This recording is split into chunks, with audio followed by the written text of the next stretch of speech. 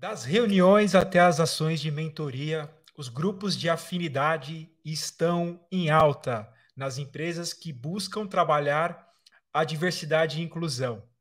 Uma pesquisa realizada pela consultoria Deloitte revelou que essas estruturas, também conhecidas como grupos de diversidade, são, reali são realidade em 81% das 215 empresas brasileiras que participaram do estudo. E olha que, que interessante, esse tipo de iniciativa tem auxiliado a fidelizar e engajar colaboradores de grupos minorizados, como mu mulheres, negros, LGBT+, PCDs e 50+. Por isso, nesse Insidercast, o seu talk show do mundo corporativo, nós vamos mostrar como funcionam esses grupos de afinidade, a importância deles e como você pode ser um agente de mudança e implementar na sua empresa. Ficou curioso? A gente tem aqui uma convidada, que é a Gabriela Batista, ela é analista de diversidade e inclusão e People Develop, Development na RD Station. Gabi, seja muito bem-vinda ao Insidercast. Oi, boa noite, tudo bem?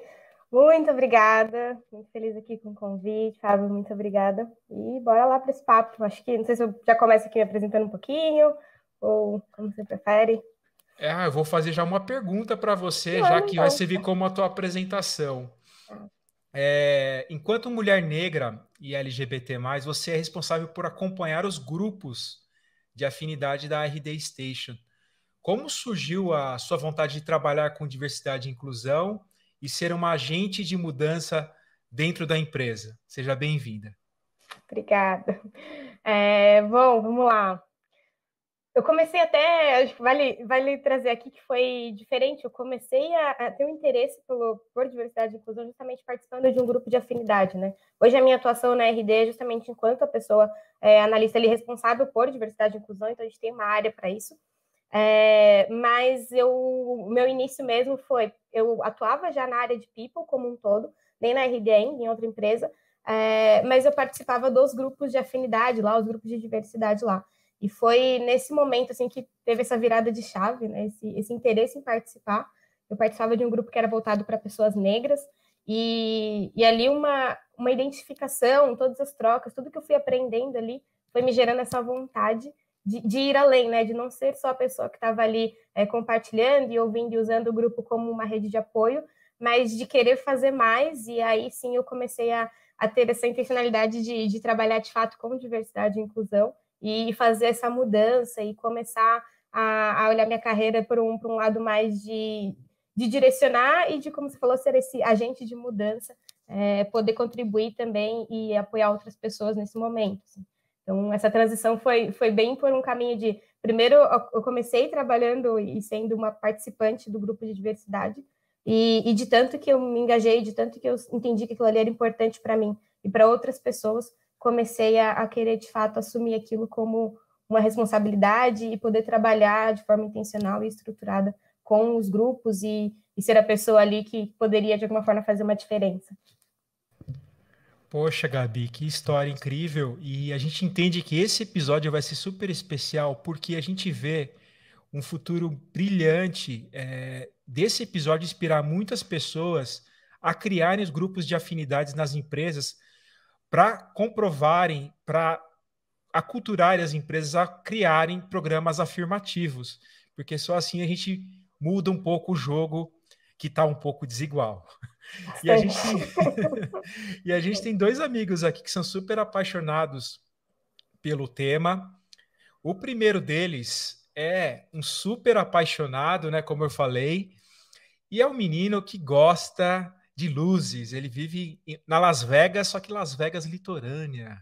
Cleiton Lúcio, seja bem-vindo ao Insidercast. E aí, Fábio, apesar de gostar de luzes, ainda tô meio deficiente aqui, deficitário com as luzes, tenho que arrumar minha luz vermelha que falhou, mas eu sou essa pessoa que realmente gosta, apaixonado por iluminação. Olha, eu gosto muito do tema, mas eu confesso que grupos de afinidade é um termo que para mim é muito novo, então eu sou uma pessoa que estarei participando da conversa, mas estarei ávido aqui aprendendo também, viu? Mas a gente não tá sozinho aqui não, a gente também tem a Bar Rodrigues. E aí, Bar, como é que você tá? Muito que bem, obrigada, Cleiton Lúcio, obrigada pela introdução, Fábio Oliveira. Gabi, seja muito bem-vinda ao Insidercast.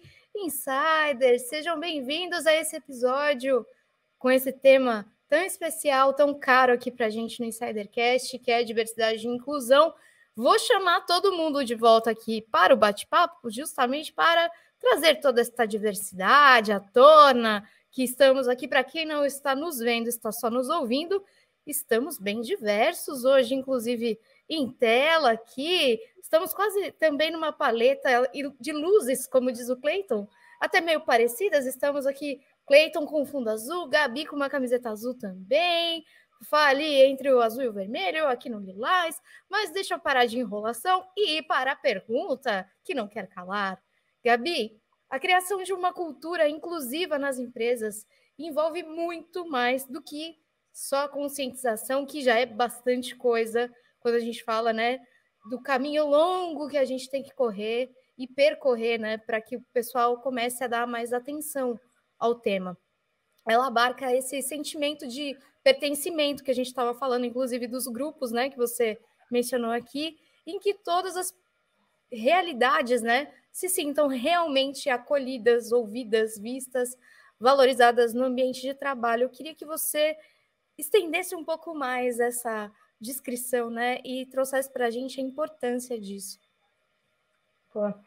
Bah, você já descreveu muito bem, eu acho que o que eu trago aqui é muito a importância disso, quanto que cada vez mais a gente vê a relevância dos grupos por conta do não só da representatividade, mas é, é aquela questão do nada de nós sem nós, então não tem como a gente falar de uma cultura, de, de, de falar de diversidade e inclusão se a gente não tiver de fato ali os grupos trabalhando, é, os grupos apoiando, é, os grupos trazendo as vozes, né? Eu ouvi uma vez uma pessoa falando que quando a gente fala de diversidade não é questão de dar não é questão de, de dar voz, é a questão de dar ouvidos, né? Então Entendo que a empresa tem esse papel mesmo de dar o ouvido ali para para entender, para acompanhar, ouvir o que, que essas pessoas estão precisando, o que, que elas estão é, pedindo ali, não só pedindo, mas o que, que elas de fato, o que, que vai fazer diferença para elas, né? E é papel da empresa é ter esse espaço, é, apoiar os grupos, incentivar, trazer de forma mais estratégica também para o lado da empresa. Acho que gente tem falado muito sobre o grupo não ser só uma questão ali de ah, vou levantar aqui a minha bandeira dentro da empresa, porque eu sou uma pessoa LGBTQIA+, eu quero falar sobre isso. Não, qual que é o impacto disso no meu dia a dia? E qual que é o impacto para a empresa também, né? A gente fala muito sobre provar o valor da diversidade, ou por que, que a empresa tem que ter a diversidade, por que, que tem que ter os grupos, e cada vez mais a gente tem visto que, no fim, são sobre pessoas, as empresas precisam, é, o nosso mundo aí está muito diverso, a gente até fala que são grupos, é, vocês usaram muito bem aqui, são grupos minorizados, grupos subrepresentados, porque não somos minoria, né? Pelo contrário, aí, se a gente for falar de questão de gênero, se a gente for falar de questão racial, é mais de 50% da população do Brasil. Então, não é minoria. É, a questão é que essas pessoas não estão nos espaços, né? Então, a empresa trazer esse, esse, esse, esse abrir esse espaço para que as pessoas falem, para que as pessoas mostrem que elas precisam, isso vai ser, sim, positivo para o negócio. A gente vai ter pessoas ali que se sentem mais confortáveis para trabalhar, que se sentem é, mais acolhidas, que vão de fato demonstrar o seu potencial da melhor forma, né? Não tem como a gente falar, ainda mais nesse mundo que a gente está vivendo agora, questão de pandemia, essa dificuldade toda. Se eu sou uma pessoa que tenho questões ali por ser uma pessoa LGBTQIA+, por ser uma pessoa negra, isso vai impactar no meu trabalho. Isso vai, talvez, impactar na minha performance se eu não estiver num local que eu, que eu, de fato, possa ser eu mesma, que eu consiga falar, que eu consiga me expressar. É, então, cada vez mais os grupos vêm ganhando essa força, as empresas precisam é, entender isso e apoiar, né? Não deixar que seja só ali um, um grupo de pessoas que estão ali falando e, e que não traz resultado, que a empresa não, não valoriza. Assim. Então, gosto muito dos grupos de diversidade como um todo e acho que cada vez mais as empresas têm que, têm que trazer isso de forma mais estratégica mesmo. Gabi, antes de passar o bastão aqui para o Cleiton, que vai fazer a próxima pergunta, só queria dizer né, que ontem a gente trouxe aqui um outro convidado também falando de diversidade e inclusão, que é o Eliezer Silveira, e que o que você falou aqui é muito, já está sendo muito complementar o teu episódio ao dele. Ele falou muito dessa importância, né, de ser quem se é realmente e que ele trouxe um conceito para a gente, principalmente para nós três aqui que estamos aprendendo a cada conversa que a gente traz sobre o tema, né? De que diversidade não é da, das partes minorizadas, é de todo mundo, né? A gente tem que entender, mesmo que a gente não faça parte de algum desses grupos, que diversidade engloba todo mundo, né? Então, é, você foi explanando aqui, trazendo a tua resposta, foi me lembrando muito da conversa que a gente teve com ele ontem, e que fica a dica aqui para o pessoal também acompanhar, e que com certeza vai fazer coro e complemento a tudo que você vai trazer hoje para a gente aqui. Cleiton, por favor. Faço das palavras da Bárbara minha. Eu estava lembrando realmente do episódio do Eli de ontem, que foi sensacional. Uma pessoa muito querida já. Mas, Gabi, lembra que eu falei que eu achei esse tema muito novo para mim. Então eu queria te perguntar o seguinte: o que, que são realmente grupos de afinidade? Boa! É, como eu falei, tem uma diferença aí, né? Eu trabalho hoje enquanto uma pessoa da área de diversidade e inclusão, o que é legal a gente diferenciar dos grupos de diversidade. Então, normalmente, os grupos de diversidade, o grupo de afinidade, depende, né? Pessoas chamam de maneira diferente. São grupos formados por pessoas que trabalham em alguma instituição, em uma empresa, pessoas que já estão atuando em outras áreas, né? E se reúnem ali, começam a estruturar e falar sobre algumas pautas. Então, hoje, por exemplo, na RD, a gente trabalha com cinco grupos. A gente tem o um grupo de pessoas com deficiência, o um grupo de mulheres, grupo de mães, o grupo de pessoas LGBTQIA+, e o grupo de pessoas negras. Eu, é, obviamente, meu trabalho é muito de acompanhar, de apoiar e de estruturar tudo isso, mas são grupos de pessoas formadas que trabalham por, por, pessoas que trabalham em outras áreas da RD. Então, tem gente que trabalha na área de marketing, tem gente que trabalha na área de vendas, são pessoas de diferentes áreas, né? Quando a gente fala de uma estrutura de diversidade e inclusão, é uma pessoa que, que seja responsável só por isso, que é o meu caso, e do meu colega que trabalha comigo lá na RD. Então, essa é a diferença. E os grupos vêm muito nesse, nesse espaço de, de ser um, um, espaço de troca, de acolhimento, das pessoas se reconhecerem, das pessoas se conectarem, né? Às vezes você entra num espaço que, a gente for trazer por exemplo, o espaço de, de tecnologia hoje, que é muito, né? A gente tem falado muito sobre questão de gênero, mulheres em tecnologia.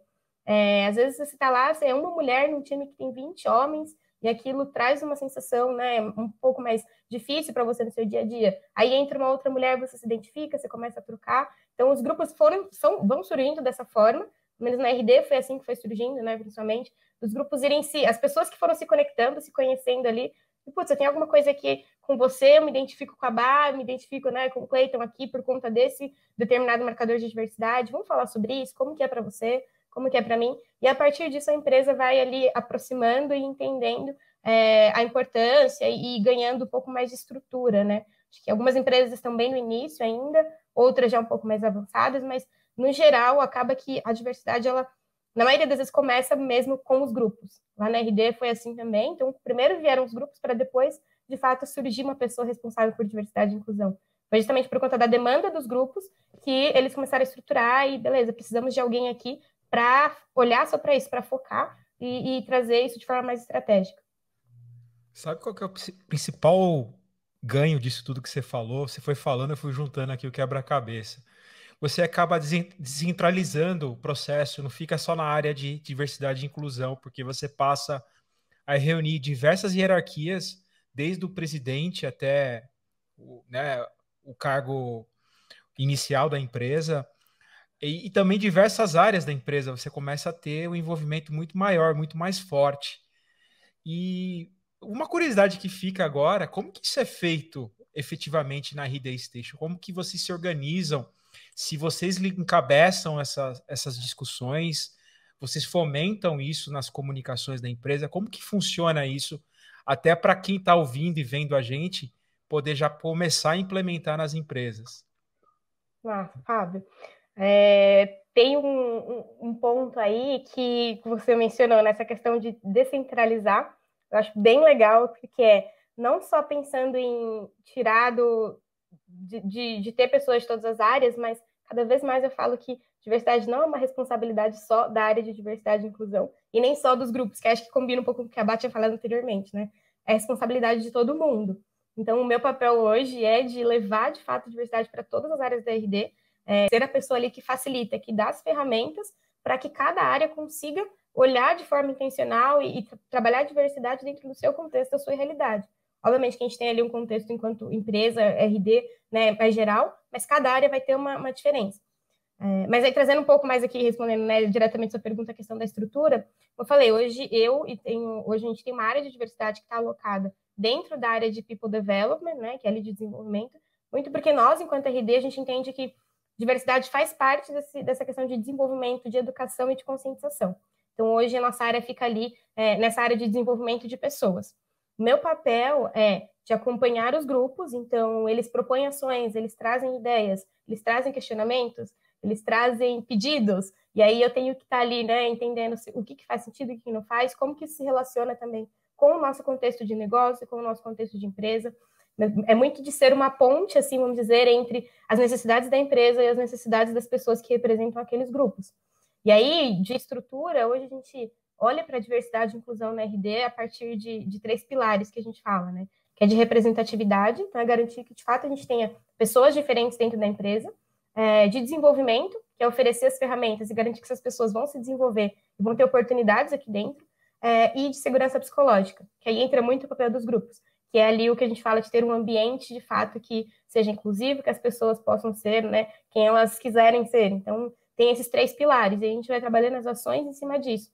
É, os grupos de diversidade hoje, eles se, reúnem, eles se reúnem, né, são em comitês, então, são, vamos dizer assim, tá pensando nas mulheres, da RD. É, não significa que todas as mulheres fazem parte do grupo, mas a gente tem um comitê ali de três, quatro mulheres que, que respondem pelo grupo de mulheres da RD, que chama, hoje a gente chama de SER, o grupo, que é Sororidade, Empoderamento e Respeito. Então, essas mulheres, elas respondem ali pelo SER, elas pensam nas ações, elas é, fazem reuniões ali quinzenais, semanais, às vezes, para pensar o que, que, o que, que as mulheres da RD estão precisando, o que, que elas estão pedindo, o que, que elas identificam que a RD poderia fazer diferente, pensando nas mulheres. E aí elas trazem, compartilham comigo essas demandas e eu vou ali ajudando elas a estruturar, vou ajudando é, a entender como que a gente pode, qual, quais são os melhores caminhos, né? Então, a gente fala muito dos meses de conscientização, por exemplo, lá, mês de março, mês da mulher. Obviamente, é um momento que o grupo acaba fazendo várias ações, então a gente traz rodas de conversa, traz palestrantes externos, traz treinamentos para as lideranças para falar sobre questões ali, por exemplo, de machismo, etc.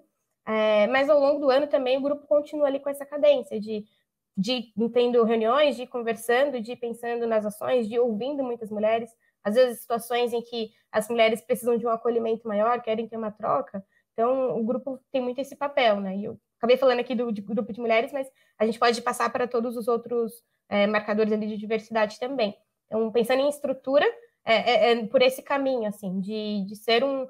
O, os grupos pensam, promovem e eu apoio, e do meu lado também eu acabo acompanhando a questão, outro, as outras frentes, né? Então, em relação à gestão de pessoas como um todo.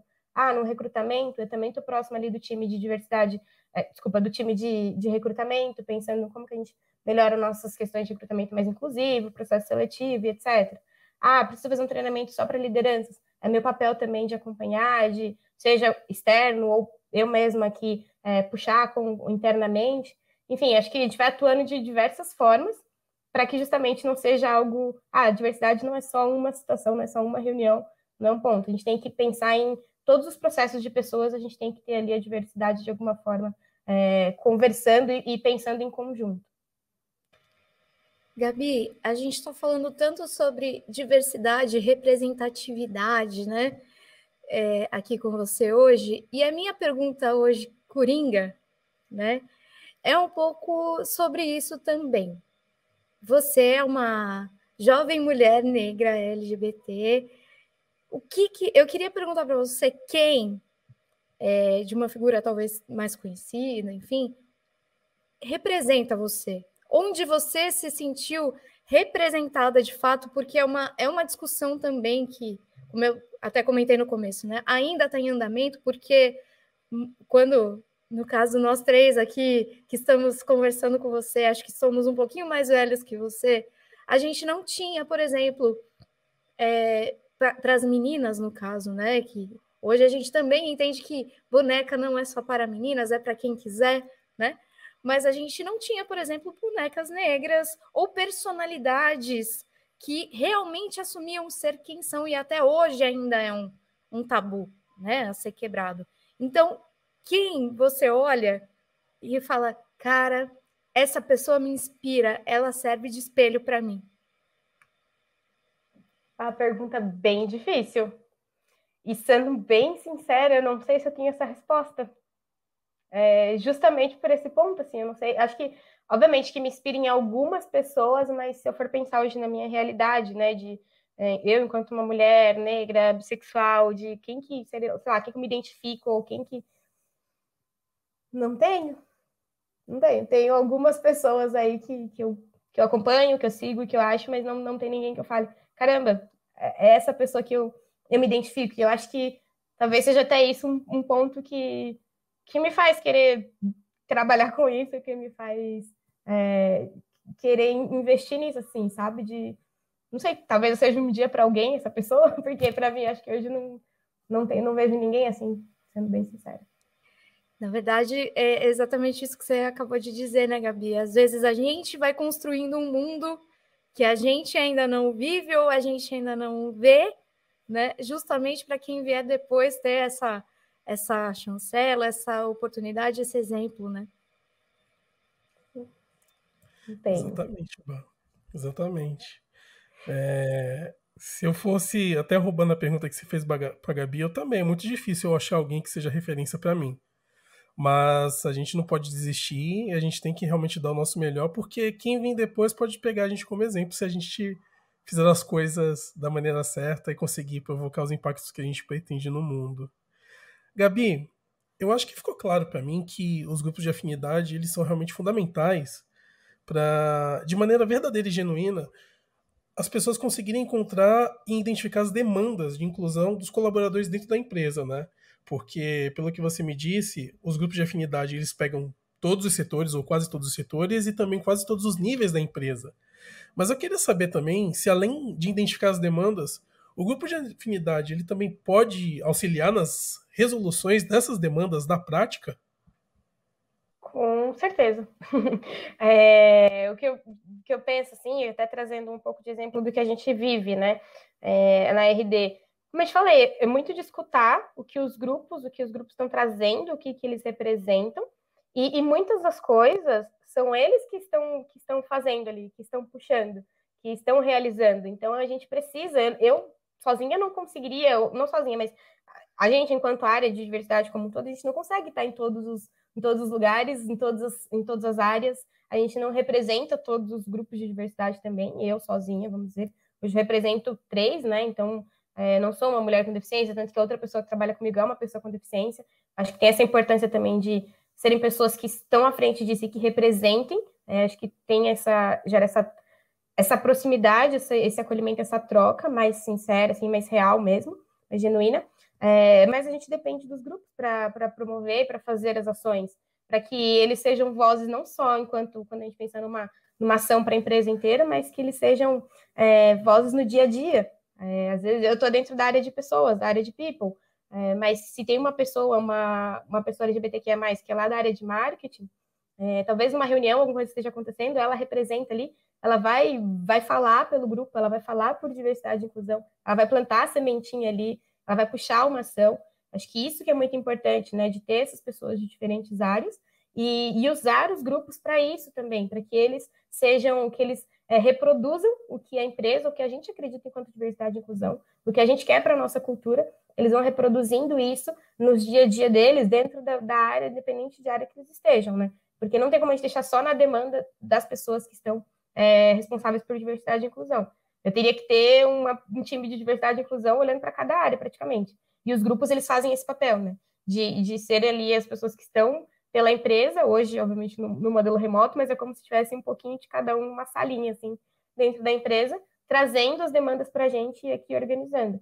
Mas a gente depende 80%, 90% dos grupos hoje para que, de fato, a estratégia de diversidade e inclusão consiga é, ser realizada e que a gente consiga pensar de forma mais estruturada. Gabi, como tudo na vida a gente fala que não existe hack, né? Não, não tem é, não, nada é fácil, tudo tem que ser planejado e trabalhado. E a gente quer cumprir um papel aqui nesse episódio de trazer um pouco de como a gente pode colocar esse negócio para rodar, definitivamente. Né? Um grupo, uma empresa que quer começar do zero, não tem nada implementado. Como que ela pode é, começar a trabalhar essa temática do grupo de afinidade e fazer essa transformação que a gente está, que a gente prometeu lá no início do episódio, né? Do agente, sermos os agentes de transformação e como que a gente pode criar essa, esses grupos e como que a gente pode fomentar. É, é feito um grande trabalho, acho que de cima para baixo, eu imagino. É, você tem que incentivar lá o presidente, os diretores, o board, o, como, como que foi esse trabalho para vocês? E se você pudesse passar para a gente, eu sei que depende de empresa para empresa, mas quais os passos fundamentais para as pessoas poderem começar a criar essa cultura dentro das empresas? Essa é a pergunta de milhões, né? Todo mundo. É, acho que as empresas estão num movimento muito interessante de começar assim. E, e a gente, e eu escuto bastante também outras pessoas falando sobre isso. E o que eu sempre gosto de trazer, primeiro é você entender a sua realidade, o seu negócio, qual que é a sua empresa. Como você falou, cada empresa é uma empresa, então entenda qual que é a sua realidade. E aí, entender a sua realidade é quem são as pessoas que estão aqui dentro hoje? É, que, que, grupos elas representam, né? Eu tenho mais mulheres, eu tenho mais homens, eu tenho pessoas LGBTQIA+, eu tenho pessoas negras dentro da minha empresa, porque hoje, para RD, pode ser diferente de uma empresa que, ah, aqui na nossa empresa a gente tem muito mais mulher, então questão de gênero talvez não seja um problema sabe? Então, primeiro é entender a sua realidade. Aí eu falo mesmo de, fazer um mapeamento, de fazer um censo.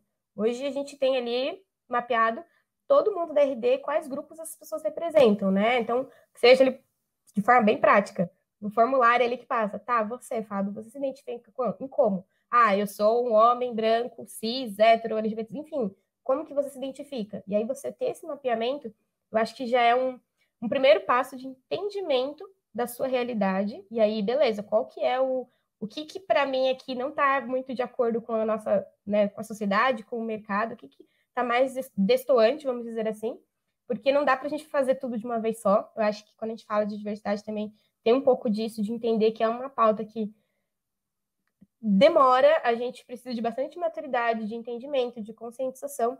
Então, é quais as batalhas que a gente vai, vai comprar ali primeiro, né? Realmente ir aos poucos. Então, ter esse mapeamento, entender qual é a sua realidade. Beleza, entendi. Como que é a minha cultura hoje? O quanto que ela preza, o quanto que a diversidade vai ser importante para a cultura da minha empresa? Por que, que eu quero trabalhar diversidade e inclusão? Então, trazer essas discussões, porque de forma também, assim, bem, bem honesta, acho que muitas empresas, hoje, a gente vê o mercado se movimentando com diversidade e inclusão, muitas vezes usando quanto algo, ah, é marketing, é, eu vou fazer aqui porque está todo mundo falando, a gente está agora no mês do orgulho mesmo, a gente vê um monte de empresa colocando bandeira, a gente fazendo ações, etc. Cara, diversidade não é isso, né? A gente até, hoje a gente estava numa reunião falando aqui internamente que eu não sou uma mulher bissexual só em junho, eu sou o ano inteiro. É, então, eu não sou uma pessoa negra só em novembro, eu sou o ano inteiro. Então, esses assuntos eles devem ser tratados é, ao longo do ano, em todos os fóruns, em todas, as, em todas as oportunidades que a gente tiver, a gente tem que trazer isso. E aí, entender como que isso vai impactar na minha cultura. Ah, eu estou preocupada aqui porque eu quero colocar minha bandeirinha lá no LinkedIn e tá tudo bem, ou eu estou preocupada aqui porque eu realmente quero entender como que as pessoas da minha empresa estão se, é, estão se sentindo, qual que é o impacto disso para elas, como que isso, né, eu falei, vai impactar na minha cultura, no meu dia a dia, o que, que isso vai me trazer de positivo. Acho que pensando em mercado de tecnologia, né, qual a gente está envolvido, cada vez mais a gente tem visto essa movimentação de mercado, então é, as empresas estão, muita gente saindo, muita gente entrando, a gente usa muita diversidade no sentido de é, as, cada vez mais as pessoas estão procurando lugares em que, de fato, elas se sintam bem. É, a gente vê isso muito na RD, as pessoas vindo procurar RD, putz, aqui eu vejo que é um lugar que vocês tratam a diversidade de uma forma que faz sentido para mim.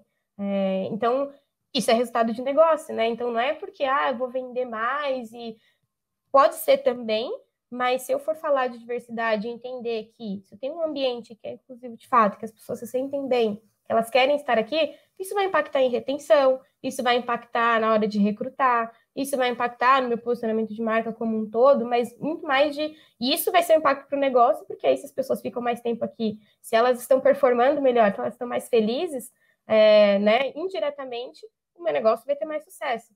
Então, é entender esse, esse ter esse olhar de diversidade, não só por porque está todo mundo fazendo e porque agora está na moda, é, mas fazer e, e, e, porque isso é importante de fato para mim, porque isso vai. Ah, no, no fim, a gente está numa empresa, é mundo corporativo, então isso vai ter impacto no meu negócio, mas um impacto no sentido de, de pessoas, não um impacto só no sentido de que está sendo feito lá fora. Então, acho que o, o caminho assim é muito esse de entender negócio, entender de cultura, conectar, ver valor nisso e você começar a mostrar isso aí até outro ponto que você trouxe, né, de lideranças. Então, ah, as pessoas questionam muito como provar para a liderança o valor da diversidade. De, dessa forma, assim, eu, eu, eu, vejo dessa forma, na RD a gente tem que trabalhar dessa forma. Beleza, qual que é o impacto da diversidade no seu negócio? Se você está aqui falando, líder, né, que está difícil de contratar, e eu estou te mostrando que eu tenho 54% da população brasileira que se identifica enquanto uma, né, 54, 56, enquanto população negra, você fala que está difícil contratar, por que, que, a gente não vai olhar intencionalmente para contratar pessoas é, negras? O que a gente precisa fazer de diferente? O que, que a gente precisa é, ser intencional? Porque o mercado está cheio, só, cheio de gente querendo oportunidade. É só a gente também estar tá disposto a trabalhar isso de forma intencional. Então, diria que o caminho é um pouquinho esse, assim. Aí depois disso tem várias outras coisas é impactar a sociedade, a comunidade, é todo um ecossistema, né? Não ser só, como você muito bem disse, né, Gabi? Você não é negra só em novembro, você não é bissexual só em junho, né? Não adianta vestir as cores da diversidade, né, na, no logo da empresa só pelo pink money. Não vale você ser só ESG pelo greenwashing, né? Tem que ser de verdade, não é ter um, um, uma visão, é, como é que eu posso dizer, ambiciosa da, da questão, né? Só por interesse, você tem que ter interesse em realmente se envolver com essas questões e poder é, trabalhar isso, né? Como você disse, lógico que vai ser positivo para a empresa, né? Toda empresa quer bons números, bons resultados, mas entender que uma, uma empresa é feita de pessoas, é feita dentro de uma comunidade para uma comunidade também. Né? Então, realmente é, é um, uma discussão que ainda, ixi, vejo que vai ainda muito longe, porque precisa muito entendimento e algumas pessoas ainda são muito relutantes em entender toda essa questão, né? Querem ganhar, mas não querem entender. Mas Vamos falar de coisa boa? Vamos falar de top term? Não, vamos falar do que te traz alegrias, né? Também a gente está falando das coisas mais difíceis, dos desafios, né? De trabalhar com diversidade, inclusão, né? Mas o que, que te traz alegria também nisso, né? Acho que você já trouxe alguns spoilers aqui, mas queria que você contasse para a gente. Eu, eu brinco que, às vezes, nas rodas de amigos, assim, o pessoal sempre traz reclamação de trabalho, não sei o que. Eu falo, ah, tem um monte de reclamação também. Mas eu tenho tanta coisa boa e que, que para mim faz sentido estar tá ali, sabe? Eu acho que eu, eu fiz uma transição de carreira mesmo, não, acho que nem me sei no começo, me formei em engenharia civil e fui totalmente para um outro lado, para o lado de pessoas. E eu vejo que o que me faz querer estar tá aqui, o que me faz é, trabalhar com isso é justamente é, de alguma forma entender que eu estou impactando e que eu estou fazendo a diferença, nem que seja de uma pessoa. Então, quando a gente pensa num, num projeto de diversidade internamente, se eu falo de recrutamento, quando eu consigo trazer uma conscientização, uma educação para um time, por exemplo, que não estava nem aí para diversidade, que não me entendia, não falava sobre isso, cara, isso me faz feliz. Isso me, no final do dia falo, tá, faz sentido e é por isso que eu tô aqui. Obviamente tem todas as dificuldades, tem dia que a gente né, quer ali largar tudo e sair correndo, porque parece que nada vai dar certo. Mas eu acho que quando a gente vê um impacto genuíno ali no, no que eu tô fazendo para uma pessoa, para duas que sejam ali para mim, faz toda a diferença. Acho que poder. E aí acho que é uma, uma mistura, né? De já, já me adiantando aqui, trazendo um pouco também, não adiantando, mas trazendo já acho que o lado mais difícil, mas que se conecta com, com um bom também é poder trabalhar com algo que é muito meu, assim. Eu tô falando, no fim, eu tô falando da minha realidade, eu tô falando, né? Então, são coisas que muitas vezes eu passei, que eu passo, e que hoje eu consigo atuar é, para mudar a minha realidade e talvez de outras pessoas. Então, acho que isso, por mais que seja difícil, por isso que eu falei que é uma mistura, também é algo que me traz alegria de, de, de realmente ver que eu estou fazendo a diferença. É, eu brinco que eu trabalho para que um dia meu trabalho não exista, para que a minha cadeira não, não precise. É, não queria que a gente tivesse uma área de verdade e inclusão. É, não sei se eu vou estar viva para ver isso também, né? Acho que ainda tem um caminho tão longo que eu não sei nem se, se acredito que não.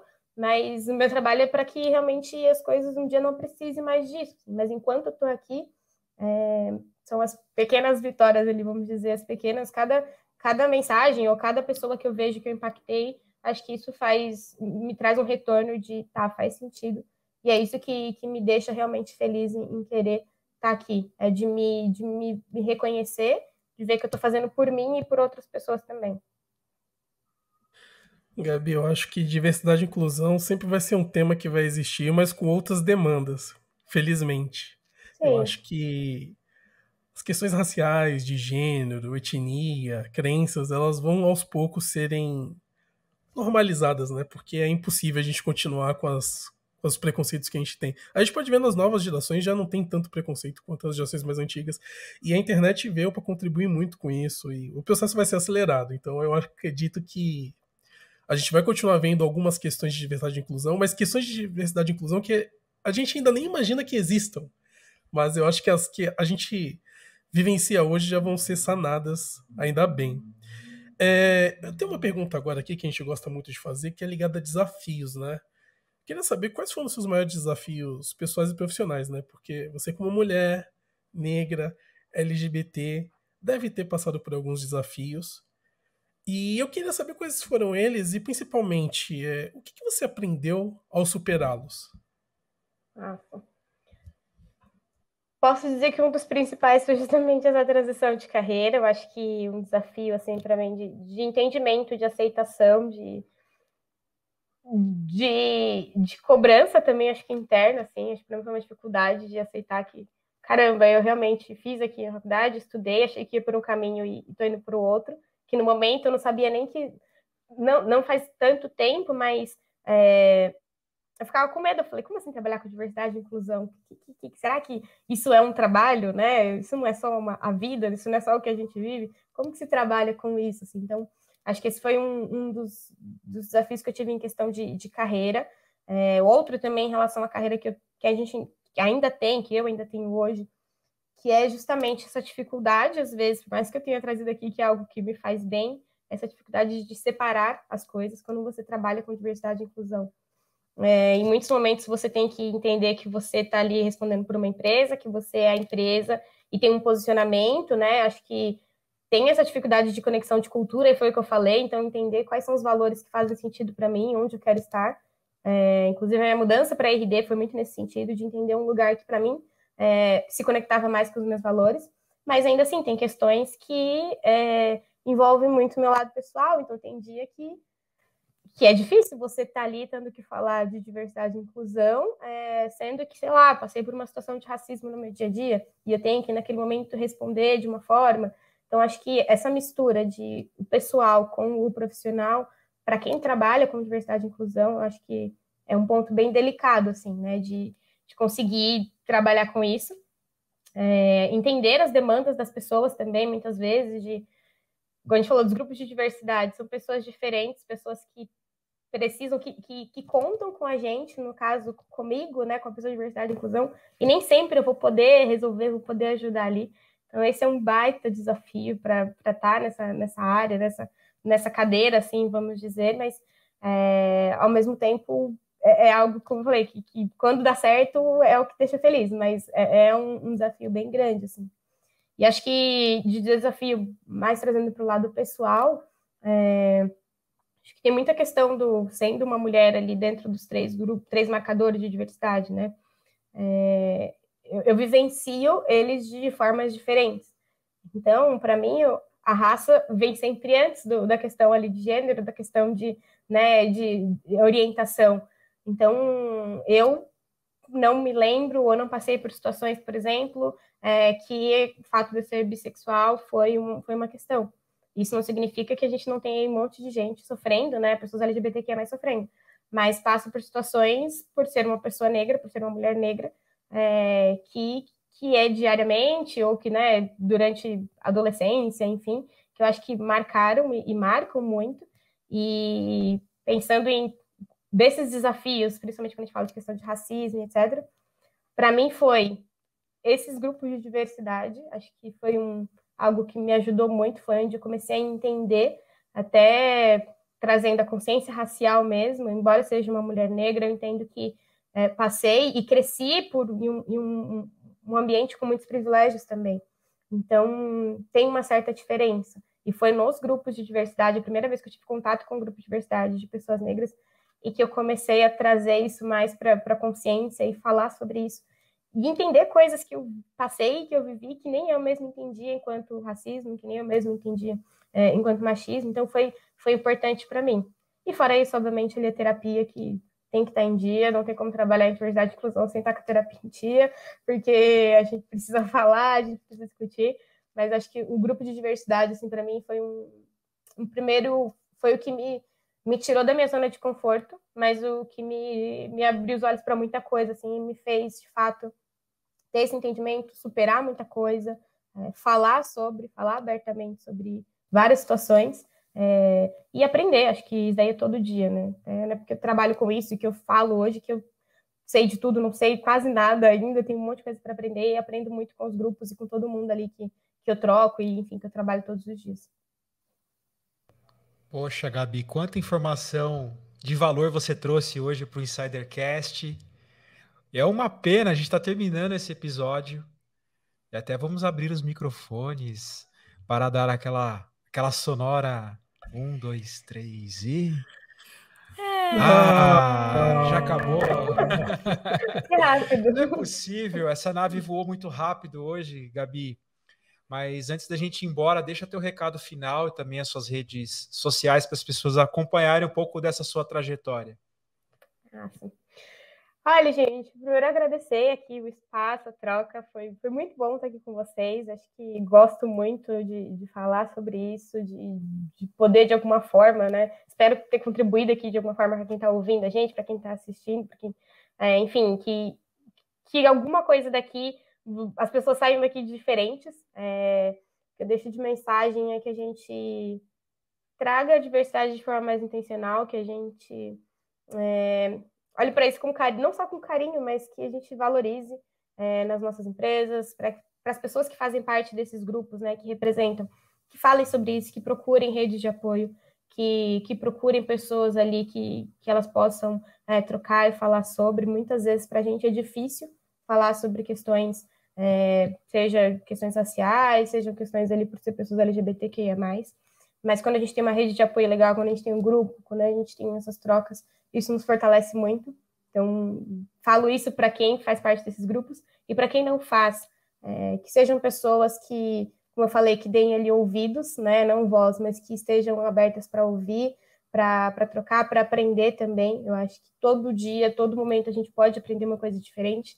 É, então, busquem informação, é, conversem com outras pessoas, escutem, é, se interessem, porque eu acho que é uma mudança que vem de dentro para fora, mas quando a gente realmente começa a falar sobre isso e trazer isso mais de forma é, direcionada, estruturada, o impacto é gigante. Assim. Então, espero que outras empresas e outras pessoas também é, olhem para isso com mais intencionalidade e de forma é, mais direcionada. As minhas redes sociais, o LinkedIn aí tá. É, gente, acho que é acho, né, Gabriela Batista, pode procurar Gabriela Baptista, tem um P mudo. É, e o Instagram também, e acho que só essas redes sociais. Não, não sou muito das redes sociais, não. Tô... Falaram que eu sou jovem, mas não sou tão. Tô só no... Mas aí, TikTok, essas coisas, não tenho nada. não tem problema, Gabi. Você já deixou os canais para a gente encontrar você. Muito obrigada é, pela tua disponibilidade, por essa tua maturidade, essa essa mensagem que você deixou para a gente, que a gente precisa realmente ser mais ouvidos, né? E dar mais ouvidos e mais atenção é, para esse, esse tema que é tão importante. Já fui deixando os meus insights aqui ao longo do episódio, então queria agradecer mais uma vez a participação da Gabi, agradecer a Pérola que está acompanhando a gente aqui no bastidor, foi a primeira ouvinte deste episódio. Agradecer vocês, insiders, por mais essa troca. Agradecer Cleiton Lúcio e Fábio Oliveira. E a gente se encontra no próximo Insidercast, né, não, Cleiton Lúcio? É isso aí, Bah. Bem, acho que como insight final aqui, eu queria falar o seguinte, né? Pelo que eu percebi, os grupos por afinidade, eles são fundamentais para fomentar ideias e fortalecer pessoas dentro de grupos minoritários, né? Minoritários bem entre aspas, porque como a gente disse, nós somos maioria. Mas ainda no jogo do poder, ainda no jogo da influência, ainda no jogo da, de quem faz acontecer as coisas, nós somos minoria, infelizmente. Mas isso vai mudar com o tempo. Além disso, né, os grupos minoritários eles são é, lugares onde pode ser resolvidas demandas e tornar verdadeiramente uma empresa múltipla em suas etnias e gêneros. Eu acho que esse foi meu insight. Eu queria agora deixar passar a bola para o Fábio. Obrigado, os insiders, obrigado, Bar, e obrigado, Gabi. Fábio, é com você. Obrigado, Cleiton Lúcio. Nossa, que episódio informativo. E eu queria deixar uma informação no final aqui também, como insight. É, Para quem ainda não tem um grupo de afinidade, vale muito a pena fazer um benchmark, que é você ir até a outra empresa, conhecer essa outra empresa que já tem algum programa estruturado, como a RD Station, para conhecer como que funciona antes de implementar na tua empresa. Uma pesquisa rápida que eu fiz aqui na internet, já descobri que o Grupo Boticário tem grupo de afinidade, a Bayer, a Clabin e a Ambev. Então, as grandes empresas já estão olhando para esse movimento e é importante, como a Gabi falou, você atrelar isso ao sucesso do negócio, né? Porque está comprovado que diversidade e inclusão traz sucesso para o negócio. E cada vez mais as empresas vão passar aderir. Isso é que esperamos. Muito obrigado, insiders. E antes da gente ir embora, eu queria deixar as redes sociais para vocês seguirem a gente. A gente está no InsiderCast no Instagram, no LinkedIn e também, se você está acompanhando a gente nas plataformas de áudio, a gente também está no YouTube, no InsiderCast. E vou deixar um e-mail também, o contato insidercast.com.br, para você mandar lá sua sugestão, sua dúvida e crítica é, sugestão de pauta, enfim, tudo que você quiser se manifestar ou nas nossas próprias redes. Quer tomar um café com a gente, conhecer um pouco mais do nosso trabalho? A gente também faz alguns serviços para promover mais humanização para o mundo corporativo com a nossa comunicação. Também chama a gente para um café no contato arroba insidercast.com.br. Vamos desligar a nave de hoje aqui e a gente volta num próximo episódio, porque eu fui!